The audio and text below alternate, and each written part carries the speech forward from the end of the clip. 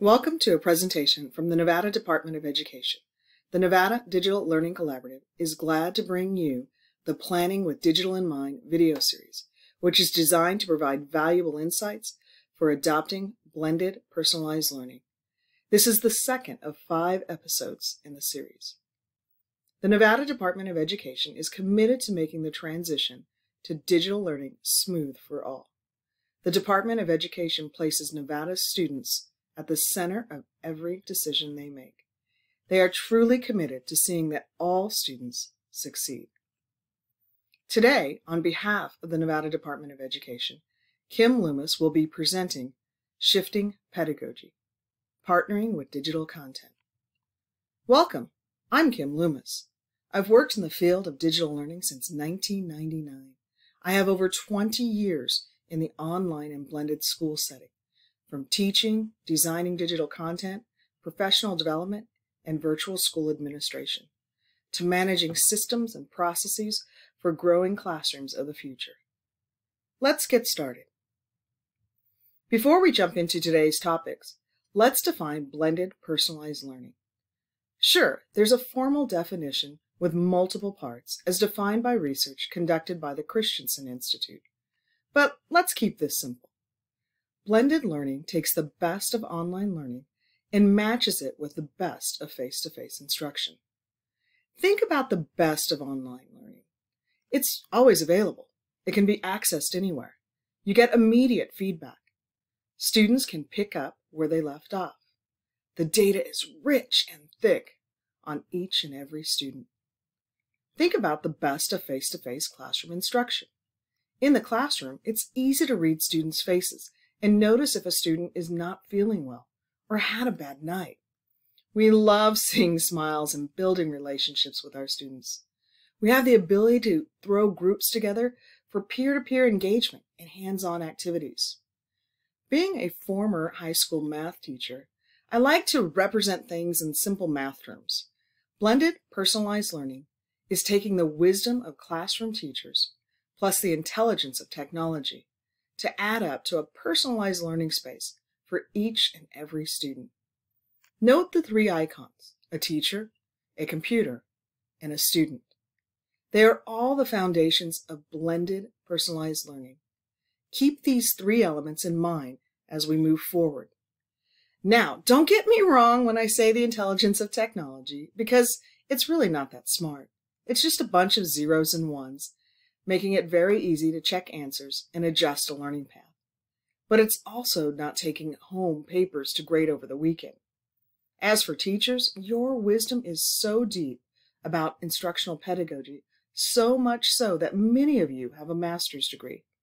And we should never take the caring heart of the teacher for granted. As we kick off, it's important that we remember to focus on the core business of schools, relationships, and learning. Even with the addition of digital content and technology as a tool for learning, we should never take the heart of the classroom teacher out of the learning process. A student's relationship with their teacher has important, positive, and long-lasting implications for both students' academic and social development. Positive teacher and student relationships draw students into the process of learning and promote their desire to learn.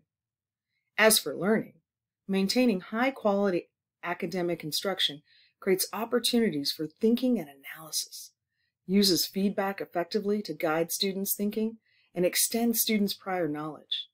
When a student trusts that the teacher has their best interest at heart, they tend to be more engaged in learning, behave better in class, and strive to obtain higher academic levels.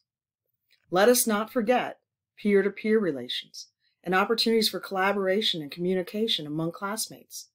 Picture a student who feels a strong personal connection with their classmates, talks with them frequently using academic vocabulary, and receives constructive guidance and praise from each other. That's the power of relationships and learning. Let's take a moment to look at a typical classroom. Generally speaking, direct instruction may be the most common teaching approach in the United States since teacher-designed and teacher-led instruction methods are widely used in American public schools. The teacher is working hard delivering direct instruction using explicit teaching techniques to teach basic skills and concepts. It is time consuming with low rewards as it typically only provides low levels in Bloom's taxonomy or Webb's depth of knowledge or DOK levels 1 and 2. Basic knowledge and comprehension or recall and reproduction plus skills and concepts. Teachers are working hard planning and deploying instructional approaches that are structured, sequenced, and led by teachers in lectures or demonstration format, with embedded questions or activities that make sure that students have understood what they've taught. Yet, time is short, leaving little left for more than low-level basic instruction. Often teachers find themselves frustrated with the inability to reach all learners, leaving behind some and not challenging others enough. They are working hard and finding themselves tired at the end of the day tired, and frustrated. Students find themselves stuck in skill development and practice. This manifests in basic recall of information, such as facts, definitions, terms, or procedures. Typically, this is as simple as remembering a formula or following a recipe. It may require students to make informed decisions about problem solving and procedures, such as completing multiple steps in order to find a solution, like collecting and then displaying data in a chart. The low-level tasks have a single approach and a single answer, leaving students feeling bored and frustrated. It is widely understood that absenteeism has a substantial impact on performance. When the teacher is the only venue for instruction, students who are absent have little opportunity to regain missed instruction. Absences keep students from getting the consistent instruction they need to build on basic skills. Frequent absences not only mean less instruction, but also missed opportunities for intervention and reteaching, much less any enrichment that may have been embedded into classroom activities. Gaps continue to build, leaving them frustrated and behind. It's easy to see the common denominator here. Teachers tired and frustrated, students bored and frustrated, absent students left behind and frustrated. It's frustration all around. I'm sure you've heard this quote before. Students won't remember what you teach them. They will remember how you made them feel. No one wants to feel frustrated, not teachers, and definitely not our young students. Bored and frustrated students are only one step away from asking themselves, why to go to class, which may lead to more absent students. You may have also heard the saying, Students don't care how much you know until they know how much you care. Teachers instinctively care about their students. That's why we chose a teaching career in the first place. So, we need to look for a new pedagogy that shifts classroom instructional practices. We care too much to continue feeling frustrated. To establish actively engaging classrooms, we need to release the tension between maintaining academic expectations while also supporting students' individual needs. This can be done by making a shift in pedagogy. It's not about adding devices to the classroom. It's about pedagogy and how you partner with digital content. By partnering with digital content, we can shift pedagogy towards an actively engaged classroom. Earlier, we spoke about how blended personalized learning utilizes the best of online learning. Digital content is great at delivering low level depths of knowledge and checking students' comprehension. It provides each student with a personalized learning space that allows them to pick up where they left off. It's easy for students to track their own success, set goals, and take risk in non-threatening environment. It's data rich with information on each and every student at our fingertips. It's like having an aide in the classroom, a personalized aide for each and every student. As teachers partner with digital content, they can shift their classroom pedagogy, releasing some of the classroom instruction to their digital partners. Teachers will have more time to create active learning activities, releasing the learning to their students as well, possibly with stations and playlists. As teachers redesign classroom instruction, they have the ability to guide instruction into more open-ended strategic thinking opportunities, using their depth and breadth of familiarity with the standards, guided instruction will span depths of knowledge levels 1 through 3. Students now have the opportunity to take ownership of their own learning. It started with the release to digital content by the teacher, giving students the responsibility and freedom to learning independently. Also, with that release, teachers opened time to craft engaging peer-to-peer, higher-order thinking activities, utilizing the four C's, communication, collaboration, creativity, and critical thinking.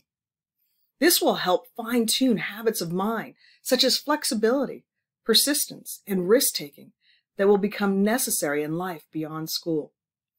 In this setting, students are actively engaged in the learning process.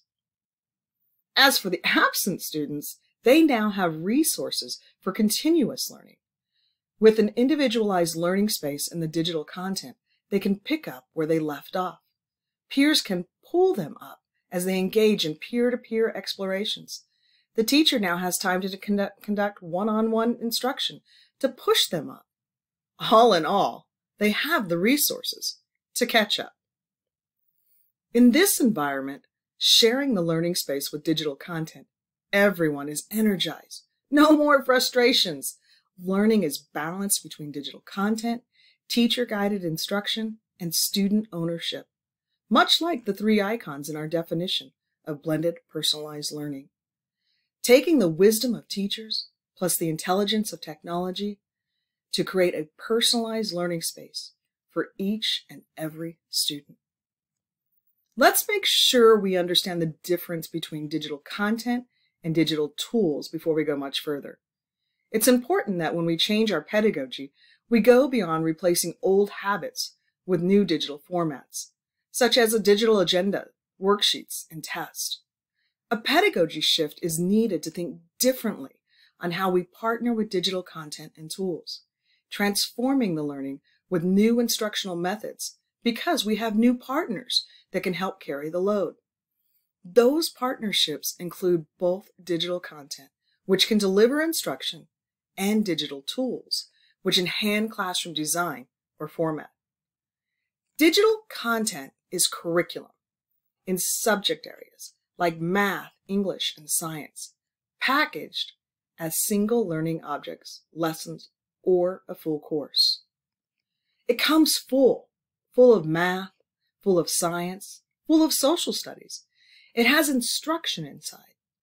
Open Educational Resources, or OERs, like Khan Academy and CK12 are examples, as are numerous vendor products. Digital content comes full. Digital tools come empty. Digital tools are used to create, organize, and manage classrooms, specifically for designing instruction and assessment. Google and Microsoft are digital tools. When you open a new document or slide, they are empty. Apps like Kahoots, Quizlet, Nearpod, Edpuzzle, TES Teach or BlendSpace, and Go Formative are also tools. They are designed to create instruction or assessment within. Though some apps have repositories of teacher-made products that you can utilize. But in general, tools come empty. When thinking about adding digital resources in your classroom, I like to recommend no more than one to three digital partners to keep the cognitive load down on yourself and your students. As for tools, three to five should be plenty. Don't go app happy. For example, you might use two digital content partners, such as vendor products or Khan Academy, and possibly BrainPop or videos from Crash Course for instruction. As for tools, you may enhance classroom design with four digital tools such as Google Suite, Remind, Kahoots, and Flipgrid. That's a total of six different digital resources, two content partners, and four tools.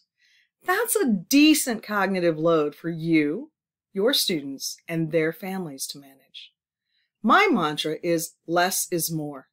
Just use them over and over again, thus reducing the cognitive load. When we think about learning, we need to look at its underpinning structure.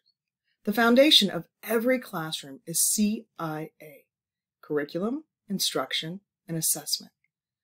Just like a traditional classroom, blended learning classrooms are driven on the same three CIA elements, yet with unique qualifiers. Digital curriculum, guided instruction, authentic assessment. Imagine data generated every time a student interacts with curriculum in an easy to read, digestible format. That is the strength of blended personalized learning, where digital curriculum delivers content requiring less stand and deliver instructional methods, providing teachers with time to analyze student achievement results and guide classroom instruction in large and small groups, or work individually with students. And since there will be a traditional assessment in the digital curriculum, as well as in the classroom instruction, in the blended classroom, filled with digital tools, students can stretch their thinking into authentic assessments, which require deep analysis, synthesis, creation, and peer-to-peer -peer collaboration. The CIA of blended learning can be represented by a triple Venn diagram, where each circle represents one element. In this diagram, icons are used to provide a visual cue for each CIA element, a computer for digital curriculum, a teacher for guided instruction, and a student for authentic assessment, each representing one-third of the equation. To learn more about the CIA of blended learning, check out the Nevada Digital Collaborative video in this series titled A Blended Approach, the CIA of Blended. Our topic today will focus on partnering with digital curriculum.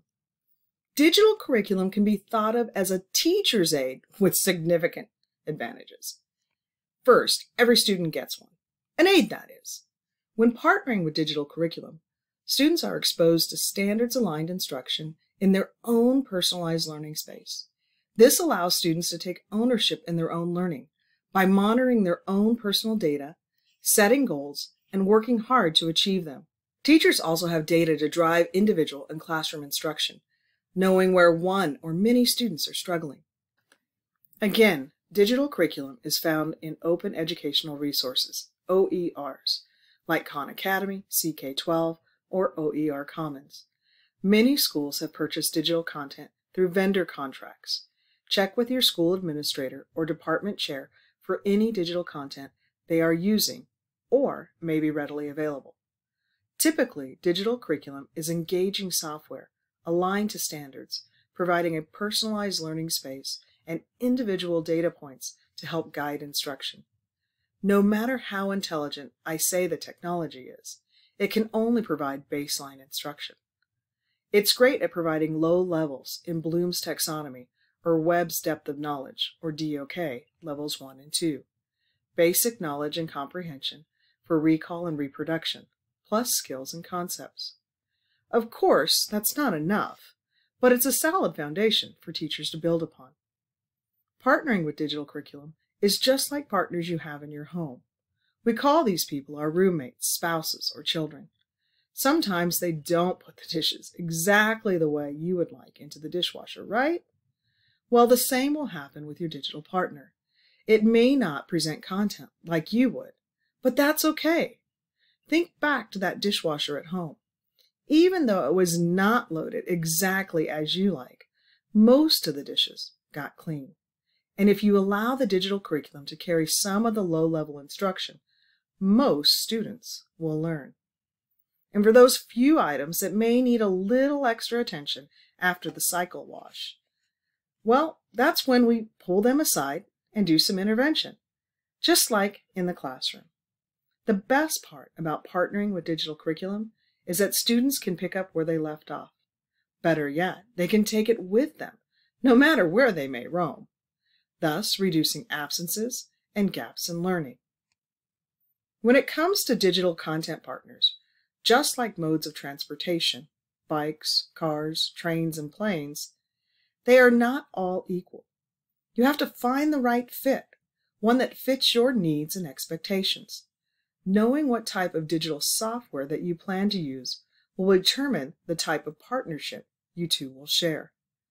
For example, if you partner with a skill and practice supplemental software, this may not provide any instruction. Yet, it can be used in a station rotation or as homework practice. This would leave you having to carry everything from filling gaps to meeting grade level standards. If you partner with adaptive software, one that pre-tests students or utilizes standardized assessment scores to create an individualized learning path, it can help fill learning gaps. Then you can focus on grade level standards. The third type of software consists of digital courses with a full scope and sequence of grade level content. Now remember that the instruction will still be at the basic depths of knowledge, low level comprehension, recall, skills, and concepts. Thus, you will need to scaffold the learning, stretching the learning to meet the appropriate standards levels, as well as supporting the learning with filling gaps and overcoming misconception. Selection of your digital partner should begin with knowing your needs and how the two of you can work together. Think back to that triple Venn diagram of the CIA of blended learning, digital curriculum, guided instruction, and authentic assessment. The three overlapping circles with the three icons, a computer, a teacher, and a student, which are the three key ingredients of blended personalized learning. Ideally, we're looking to reach that sweet spot in the middle. This is where the blended classroom has a balanced approach and a solid foundation in all three CIA components of blended. Let the digital curriculum do what it does best, deliver low-level knowledge at DOK levels 1 and 2. With all its zeros and ones that make technology so intelligent, it generates so much data. It's that data that becomes important in the new pedagogy shift. Teachers must take this data to guide classroom instruction. It will tell you who is on pace, who is understanding, and what they're understanding. Who needs more one-on-one -on -one time with you? Or if the whole class needs additional scaffolds and supports. This data is rich, so use it to your advantage. Think of it this way. You have partners at home. We call them spouses. You wouldn't let them sit around all day watching television with their feet up on the coffee table. No. You would expect them to work and bring home some digits, a paycheck that can be used jointly for the better good of your home. The same is true with digital partners. Don't let them sit on the sideline. Collect their digits, the data, for the better good of your classroom instruction. It's a partnership working together, intertwined, not two separate distinct silos. Matter of fact, I like to say it's like a dance, you and your digital partner, moving together. Sometimes you lead, other times the digital partner leads. Without the data, there's no music, no harmony. Having core data practice knowledge and skills are essential to becoming an effective blended teacher. To introduce data practices, we will first discuss the concept of mastery-based progression, which is often the foundation of digital curriculum products. Mastery-based data focuses on student performance rather than seat time to determine how students progress through digital curriculum. Students demonstrate mastery of a skill or topic before moving on to a more advanced one. For an assessment to be useful for mastery-based progression, each element is associated with a specific student learning outcome, or SLO, typically a single standard or objective. In some software products, rather than focus on overall scores for quizzes or exams, scores are typically displayed at the SLO level. Mastery dashboards or gradebooks typically come in street-like colors, green, yellow, red, and may include various shades as well. Green indicates a student has achieved a mastery level on an assessment, or SLO. Yellow indicates near mastery, and red indicates that students need more significant remediation or intervention. These visual representations help teachers quickly recognize individual students who exceed mastery, meet mastery, are near mastery, and those who are below mastery and need remediation. Mastery-based progression is better for students' learning than time-based progression. However, it requires a skill set that may be new to you. Student data will help you and your students both know when they are ready to advance to a new concept or skill. Good data practices also provide insight into specific student deficiencies so that you can provide targeted interventions to help students overcome these deficiencies. There are two major types of data that are typically used to monitor student growth and therefore usually available on data dashboards. Performance data is student achievement data.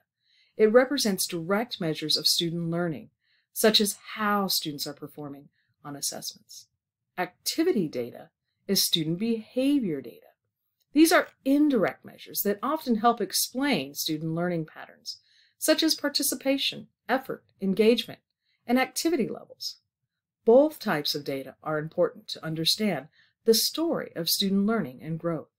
While data dashboards are helpful for presenting large amounts of student data in visual form, you must develop the skills of interpreting student data and using the data to improve student learning. Interpreting patterns in student data is the process of reading and trying to understand the story that the numbers tell about a student's learning growth without having all the narrative details.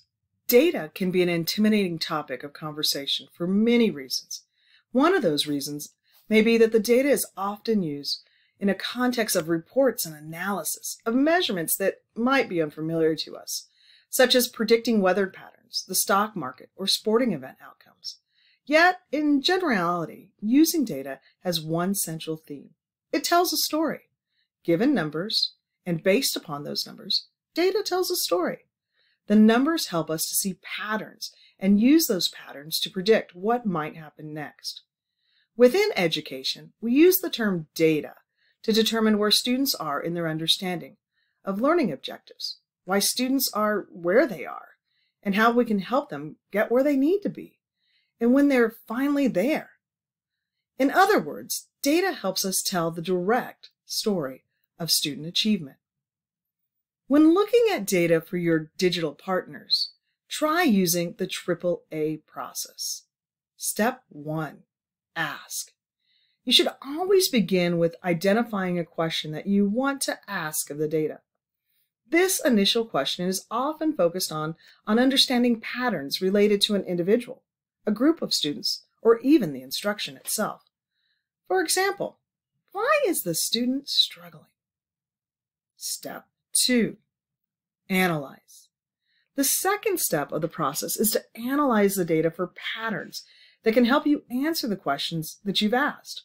Coming back to our struggling student example, you might ask, are you seeing a difference between classroom observation and digital assessment data? You could check the activity data. Is the student jumping all around or just clicking through? Step 3.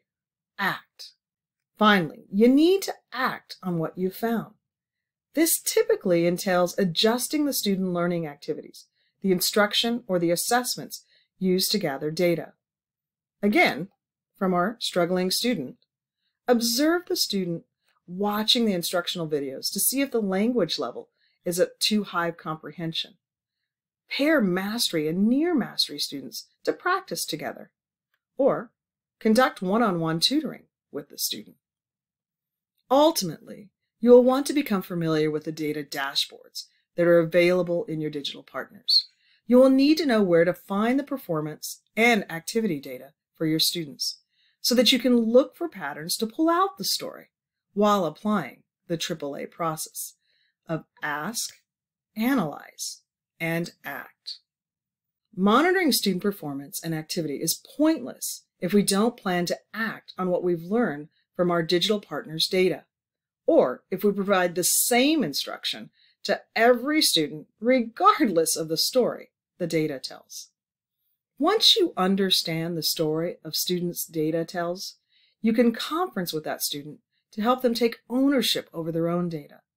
When trends in data are shared with students, you and your students can work together to co-create learning expectations, set goals, and steps for success. including a timeline for completing those goals. Here are a few essential data talking points when conferencing with students. 1. Where is the student currently? 2. Where does the student need to go? 3. What can the student do to get there? 4. How quickly can the student complete the plan? The goal is to have students take ownership over their own learning data of course, in order to do this, students need to not only have access to their own data, but they also need to understand how to read it and recognize its trends. You might want to share the AAA process with your students to help them ask, analyze, and act upon their own data. Personalization consists of a system of mindsets and practices that allow teachers to increase a student's chance of engaging with learning materials, mastering the materials, and applying them to the real world. Blended teaching allows us to shift from teacher-led practices to a more student-centered practice that gives students power over their own learning journeys. Technology has made it easier than ever to make learning personal. The rich data within the digital partners will make it easy to set expectations for student ownership and goal setting.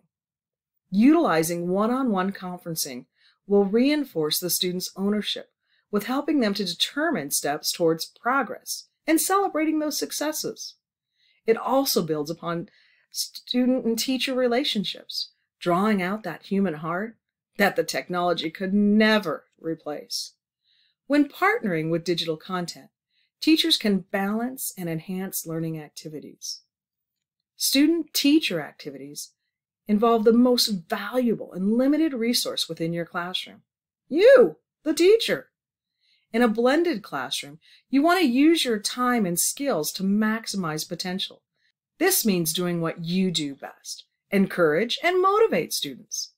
When you identify an individual student or small group of students who need remediation in the red, in a mastery gradebook, it is often effective to conduct a one-on-one or small group tutoring session because you can diagnose more nuances challenges than the software can.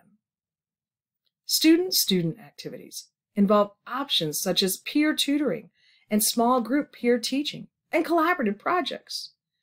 Peer tutoring and small group teaching activities work best when students are near mastery or yellow, but probably do not work as well when they are in need of remediation in the red. These types of student-student activities not only help the students who are near in mastery, but also help the peer tutor develop communication and collaboration skills. Peer tutoring or small group work can even keep students on task if they're paired with the right peer. Student-to-content activities are activities students complete from a teacher-curated playlist or activities recommended by an adaptive learning software program. Some software makes it easy for you to recommend learning activities based on individual student needs. For example, Khan Academy allows you to manually assign practice problems to students in each skill area based on students' needs. Recommending curated student content activities is a particularly good option when you already know that the student's weakness matches with existing activities. It can also be a good option for students who aren't near mastery in the yellow and just need a little more practice to achieve mastery. Data from evaluations are split into two major groups, summative and formative. Summative assessments are usually given at the end of a unit, course, or school year and are often created by someone other than you. Formative assessments are typically shorter, more frequent, and diagnosed in purpose. They provide specific guidance to students and to you on what your students still need to learn. You will develop a wide range of formative assessments for your blended personalized classroom. Among this range is the variance of online versus in-person evaluations. Both types are central elements of effective blended teaching. Administering assessments online and in person have different advantages that should be considered as you are planning instruction. The key is balance. Think computer, teacher, and student. Balance the three elements of blended personalized learning digital curriculum, guided instruction, and authentic assessment. The three icons computer, teacher, student in the CIA of blended remind us of the balance needed for a pedagogy shift to blended personalized learning, where teachers partner with digital curriculum so that they can guide instruction with higher depths of knowledge and students can take ownership in their learning while engaging in authentic assessment. Think of thirds. Plan in thirds. One third digital curriculum, partnering with digital content to deliver low-level basic instruction, which in turn frees the teacher up to provide more one-on-one and small group support. One-third, guided instruction, utilizing the wisdom of teachers to ensure that students grasp the appropriate depths of knowledge of the essential and power standards, moving beyond DOK level 1 and 2 into strategic thinking, which includes whole and small group instruction as well as crafting thought provoking peer to peer active engagement experiences. One third, authentic assessment and student ownership. Move beyond traditional quizzes and tests. Embrace peer to peer experiences with the four C's communication, collaboration, creativity, critical thinking. This may also include performance tasks and project learning. Today, we explored a new mindset for partnering with digital curriculum to create balanced learning environments. Partnering with digital content will take a pedagogy shift, one that thinks in thirds, one third digital, one third teacher, and one third student. So you may be asking, how do you plan with digital in mind when partnering with a digital content? It starts with understanding that if you, the teacher, will lead one third of the time. That means two thirds of the time you will release control to technology and or your students.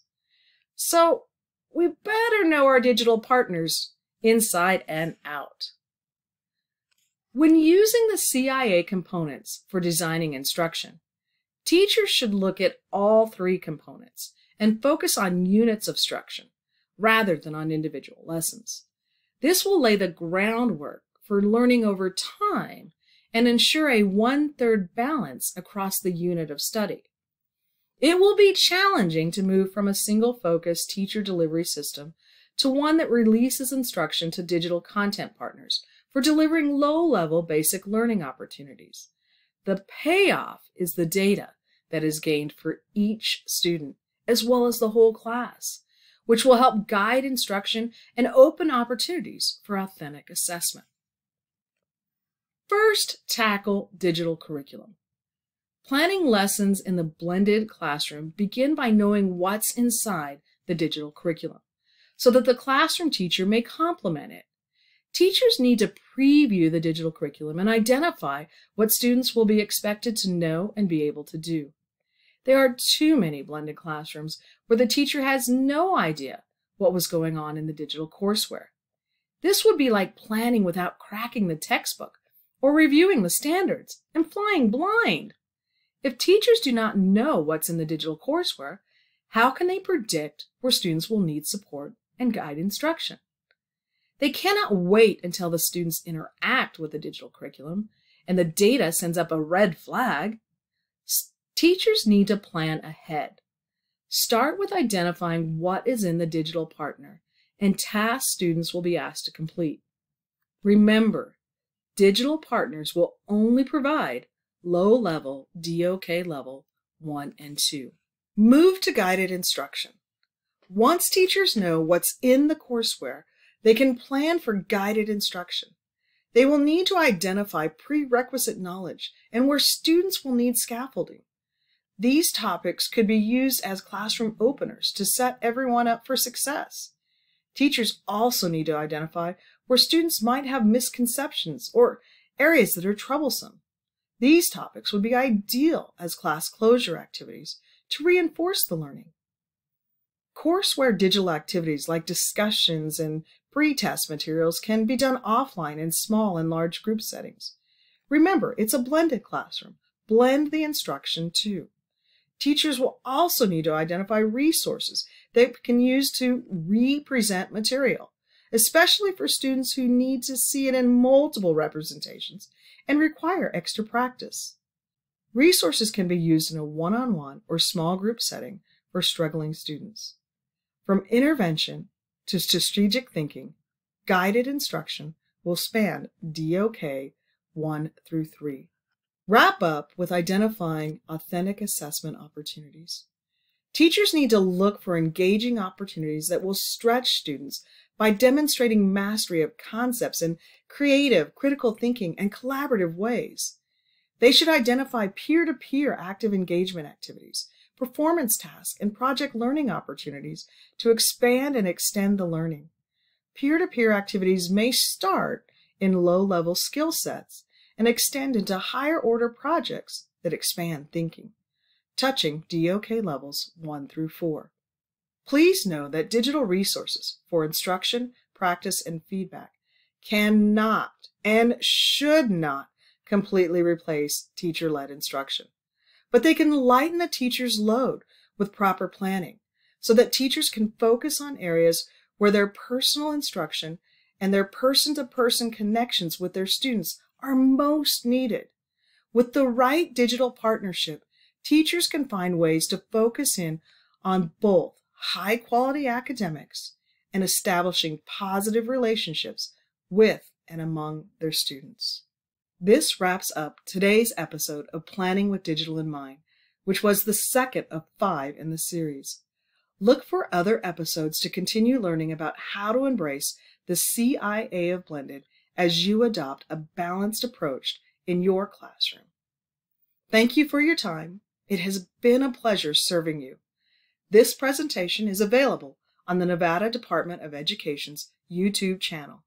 Come back to it anytime, and please feel free to share it with fellow educators.